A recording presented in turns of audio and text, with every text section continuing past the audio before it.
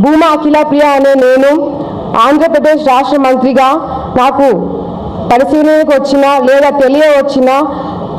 ఏ విషయాన్ని నా కర్తవ్యాలను సమ సక్రమంగా నిర్వహించేందుకు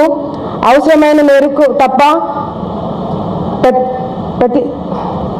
ప్రత్యక్షంగా కానీ పరోక్షంగా కానీ